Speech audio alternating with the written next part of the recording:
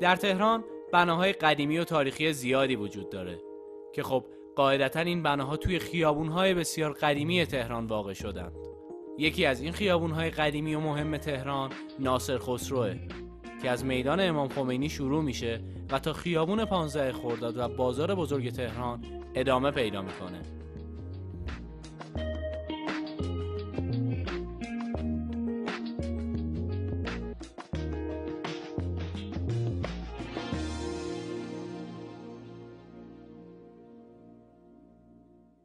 در این برنامه از تهرانگرد به خیابون ناصر خسرو میریم تا بناهای تاریخی این خیابون رو با هم ببینیم. با کسبه قدیمی هم صحبت بشیم و حال و هوای این روزهای خیابون ناصر خسرو رو با هم ببینیم.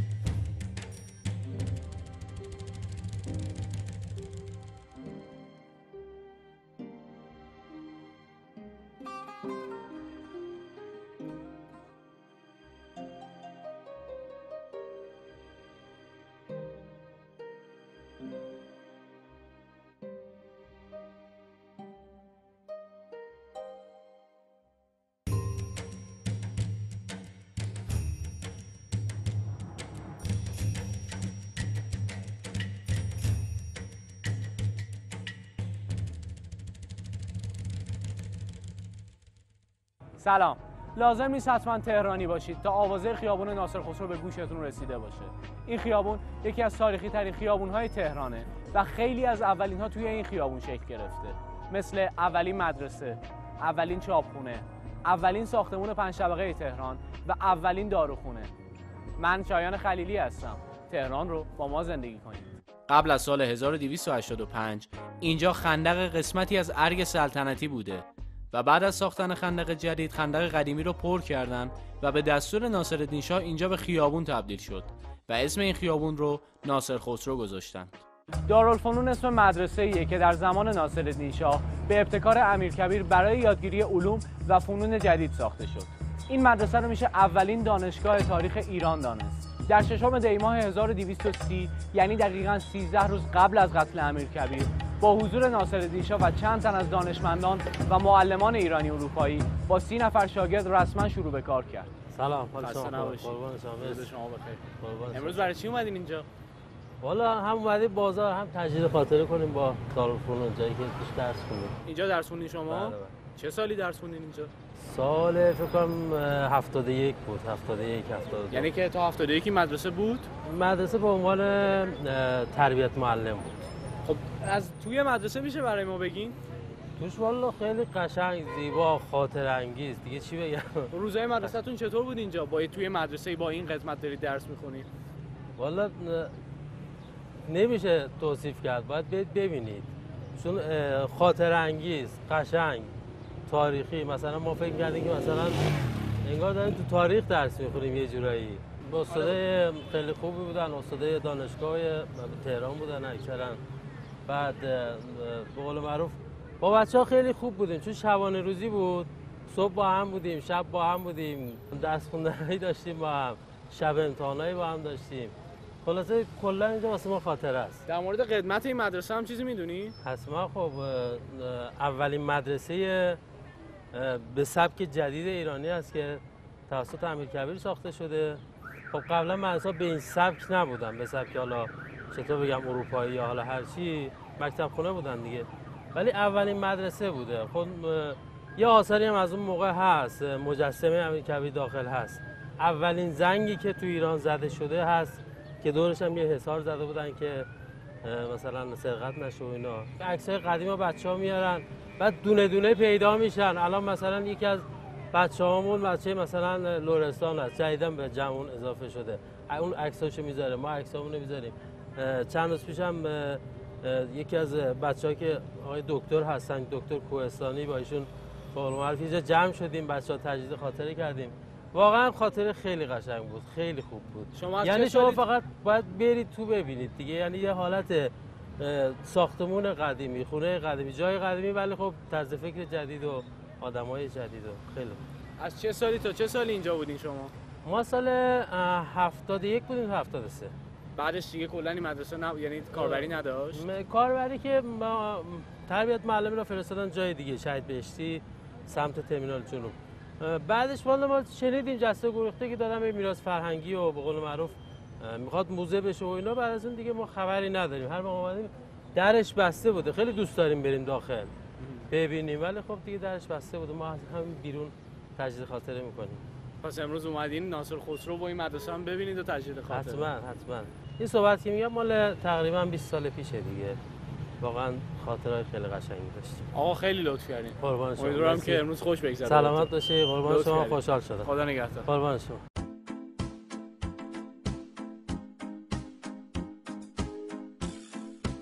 به دلیل نزدیکی این خیابون به بازار بزرگ تهران اینجا اغلب همه مردم عجله دارن.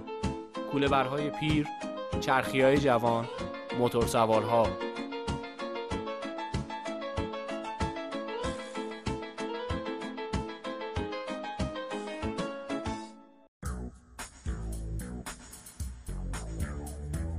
خیابان ناصر خسرو مرکز خرید تجهیزات پزشکی، دوربین و تجهیزات مربوط به اونه.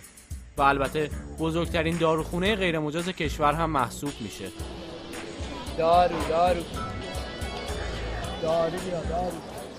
اولین داروخونه به سبک جدید در ایران به دست معلم آلمانی داروسازی دارالفنون در این خیابون تأسیس شد و الان از اون داروخونه خبری نیست.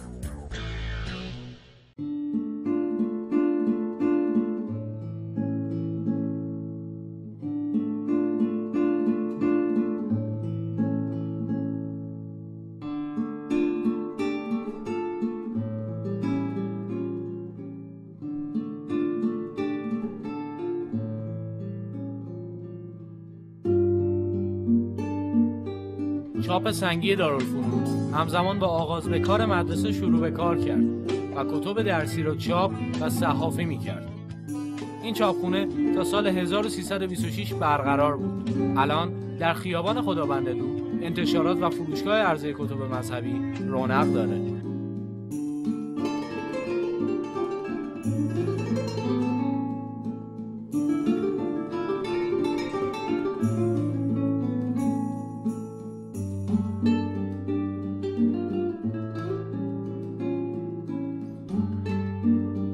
مسیرهای پیاده گردشگری یا پیاده ها یکی از ارکان مهم درآمدزایی در کلان شهر هاست.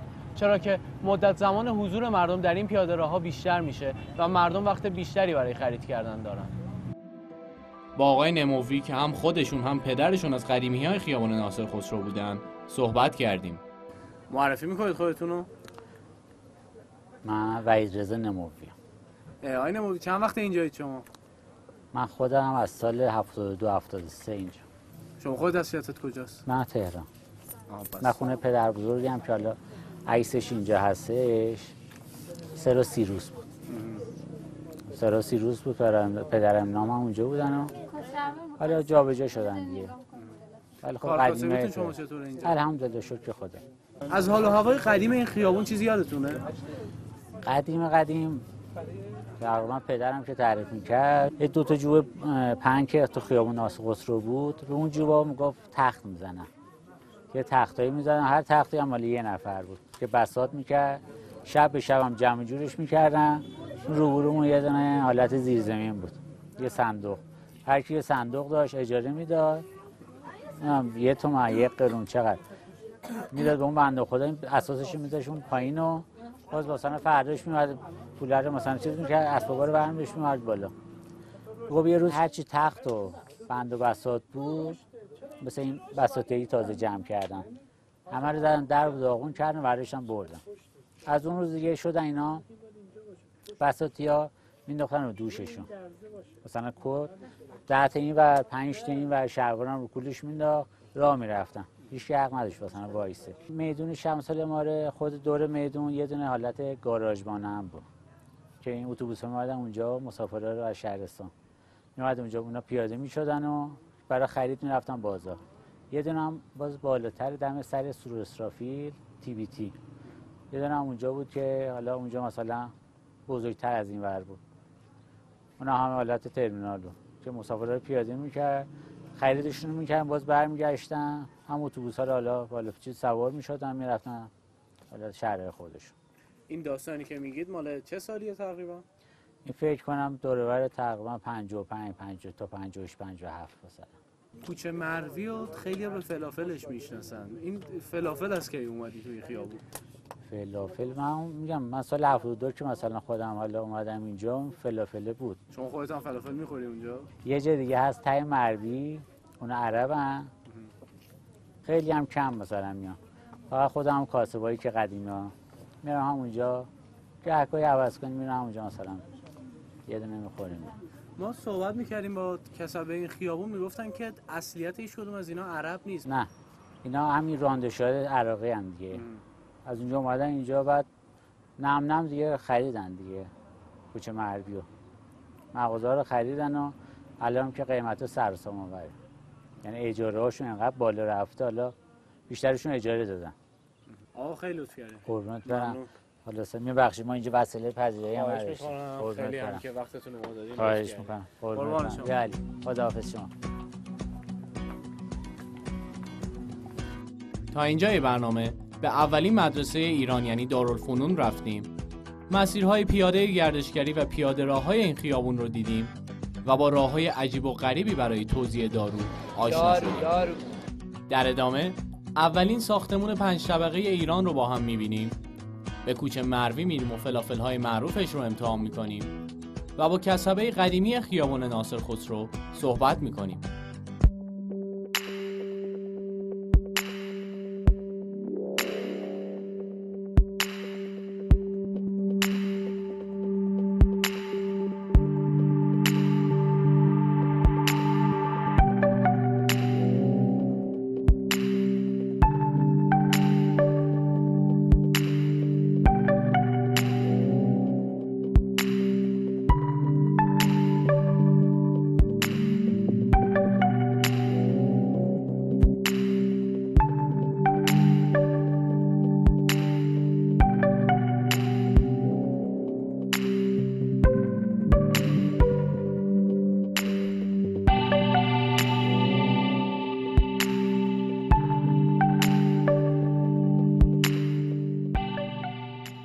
در بعضی از کتب قدیمی در مورد خیابون ناصر خسرو این گونه نوشتن.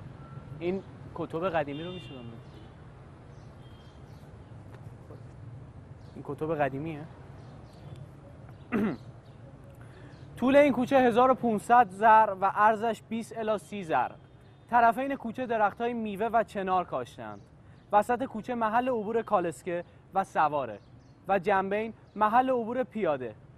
چراغ‌های چودنی در طرفین نصب است که هر شب روشن است و صبح و عصر محل گردشگاه عامه است و از هر طبقه مردم در آنجا الی سه ساعت از شب رفته مشغول گردش هستند. این کتب نیست؟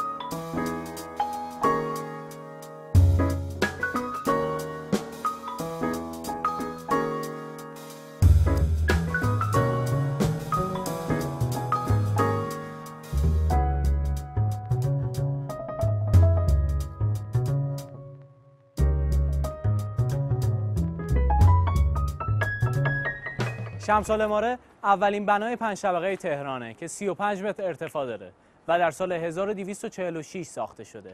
اولین بناییه که در ساخت اون از فلز استفاده شده و از معماری غربی الهام گرفته.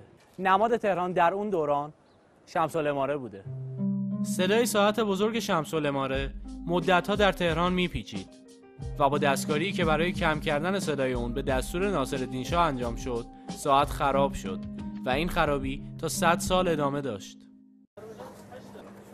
آقا سلام. روز شما بخیر. روز شما هم دو تا هویج بستنی یا آب طالبی لطف کن برای ما؟ سفارشی بزن برای سفارشی بزن. اسمت هم میگی به ما؟ کوچه شما من مسئول چند وقت اینجایی؟ من تقریبا دو سال. دو ساله. امروز روز تعطیل هم هست اینجا. عجیبه. فقط اینکه مروی باشه آن کوچه مرد من چه فرقی می‌کنه. مروی همیشه بازه جمعه هم بازه. بعد احتمال قوی خود بازار بزرگ هم امروز بازه.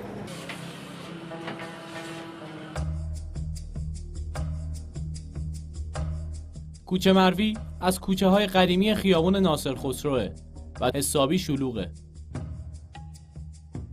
اینجا کوچه مرویه. شاید کمتر کسی باشه توی تهران اینجا رو نشناسه. اینجا تا چند سال اخیر بازسازی شده ولی خب همچنان سبک قدیمی خودش رو حفظ کرده.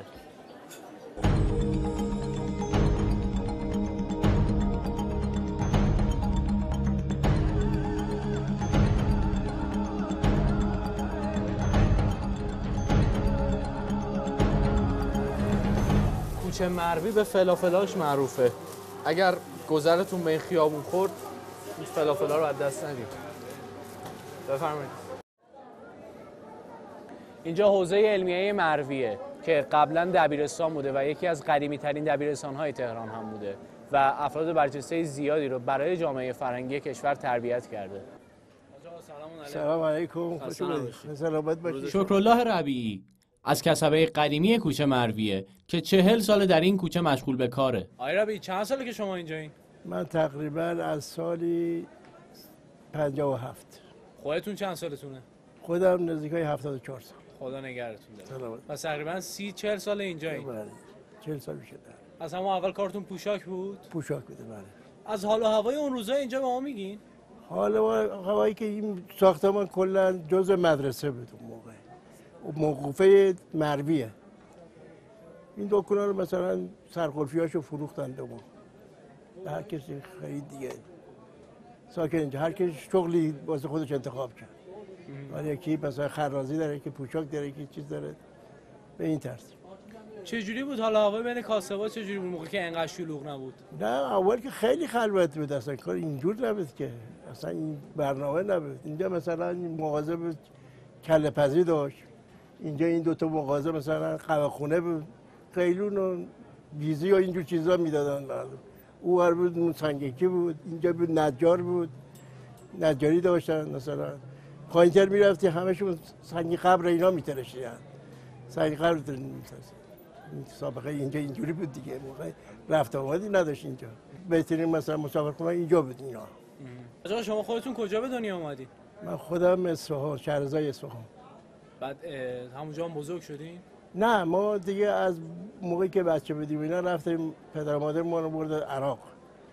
چون مثلا دیگه اونجا موندیم یه سی سه سی هفت سال اونجا کازمین بودیم.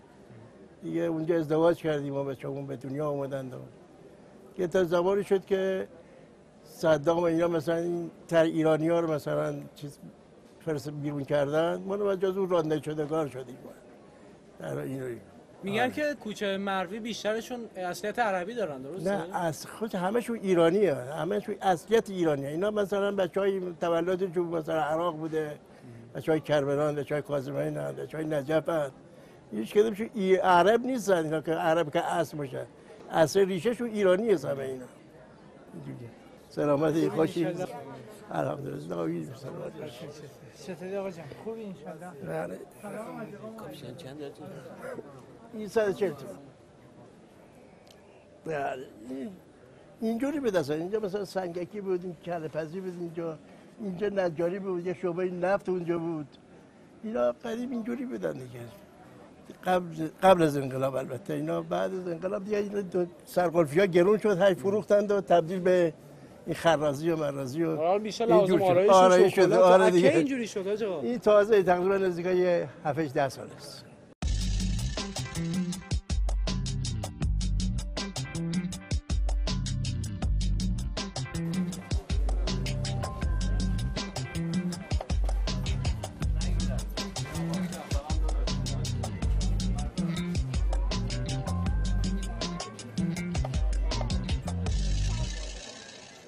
آقای سعیدی از کسبه قدیمی خیابان ناصر خسروان که سی ساله به شغل دوچرخه فروشی مشغولن. معرفی می‌کنید خودتونو؟ من سعیدی هستم.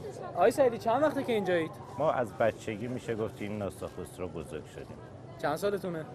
الان پنجاه بود ماشاءالله خدا نگهدار. زنده باشی. یعنی 50 سال شما اینجایین چه جوری بود حالا هوای اون موقع؟ خب اون موقع صفای خودشو داشت الان هم حال هوای خودشو داره. بذار ولی تعریف؟ چیز به حالت قدیم نمیشه. اینجا قنات می اومد رد می‌شد خیابون دو طرفه بود اتوبوسای قدیمی بودن. حال هوای خوبی بود. این به این شکل در اومدن از کی شروع شد؟ تقریبا امسال شروع کرد برای بازسازی. این بازسازی ها اینجوری شما آخه یه سری بافت قدیمی هم هست هنوز. بافتای قدیمی رو به همون صورت ترمیم می‌کنن. تغییری ایجاد نمیشه. ولی خب خیابون سنگفرش شد و گلکاری شد و از اون حالت بافت قدیمی خیابون ناصر خسرو خارج شد. ولی خب این هم حالت سنتی و شیکی پیدا کرده. بعد اینجا مگه ورود وسیله نقلیه ممنوع نیست؟ چون ماشین میاد میره اینجا به طور کل در روز ورود وسیله نقلیه رو ممنوع کردن. منتها ایام تعطیل یا روزهای معمولی از ساعت هشت شب به بعد آزاده. آقای سعیدی من تو این خیابون دوچرخه فروشی ندیده بودم تا حالا. چرا؟ از قدیم این خیابون ناصر خسرو مرکز پخش دوچرخه بود. منتها به مرور همکاران ما بیشتریاشون انتقال پیدا کردن سمت میدان رازی.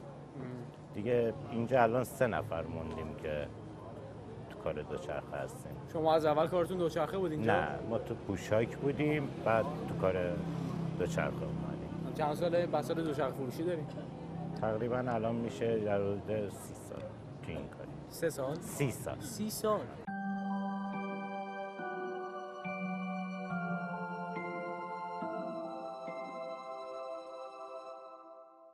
ناصر خسروی قدیم حالا هوای دیگه ای داشت تا نسبت به الان. الان بیشتر همکارای ما که از اینجا رفتن تغییر شغلا ایجاد شد. چون تو ناصر خسرو یا پوشاکی بود یا دوچرخه فروش. همکارای همسایه های الکتریکیمون هم از قدیم اینجا بودن که الان لاله زارن. ولی خب حالا هواست دیگه. هر روز یه تغییراتی می‌کنه و یه جنبه های خوب و بدی هم کنار خودش داره. این خیابون همیشه انقدر شلوغه؟ نه متاسفانه. فقط روزای تعطیل. چون روزای معمولی خیابون بسته است. یعنی چی ماشین تردد نداره که بخواد رفت آمدی باشه. یعنی روزهای تعطیل فقط تردد می‌کنن بله. روزهای معمولی فقط ون در حال حرکته. ولی قدیما اینجا اتوبوس بود سواری ها بودن خیابون دو طرفه بود. ازدهام زیاد بود رفت آمد خوب بود. تقریبا حال هوای دیگه ای نسبت به الان این تردد نمیشه کرد. کاری نمیشه انجام داد باری نمیشه آورد. آدمای سن بالا وقتی می‌خوان بیان خرید بکنن وقتی وسیله نباشه نمی‌تونن. و این یه چیز طبیعی شده. یه سری من دیدم این حالت مینیبوس گذاشتن این بنا رو گذاشتن از دم مترو امام خمینی سوار می‌کنه گل و بندک هم پیاده می‌کنه. یعنی جمعیتی از اینجا به اون صورت تردد نمی‌کنه. آقا خیلی لطف آقا. زنده باشیم موفق. باشیم پایدار باشیم. خدا نگهدار. خدا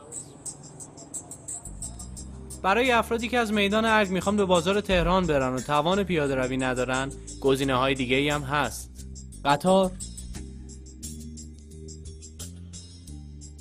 ون و موتوری های غیر مجاز.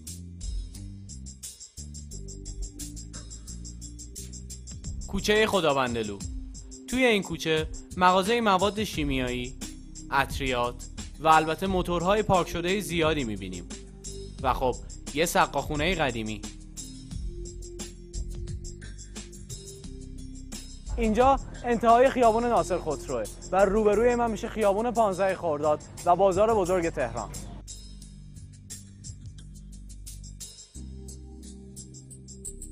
یه روز کامل رو در خیابون ناصر خسرو گذروندیم. خیابونی که خاطرات زیادی توی دل خودش جا داده و هنوز که هنوزه جمعیت زیادی برای گشت و گذار و البته خرید کردن به اینجا میان.